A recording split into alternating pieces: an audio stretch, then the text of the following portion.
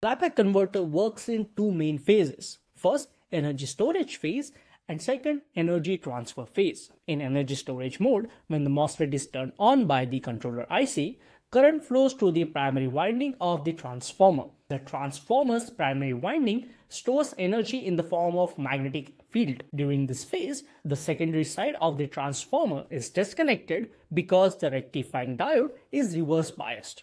Hence, no energy flows to the load. The energy here acts like a bucket being filled with water. The energy is temporarily stored and will be transferred during the next phase. In the next phase, which is energy transfer, when the MOSFET is turned off, the magnetic field in the transformer collapses. This collapsing field induces a voltage in the secondary winding of the transformer. The rectifying diode on the secondary side becomes forward biased, which allows energy to flow into the output capacitor and to the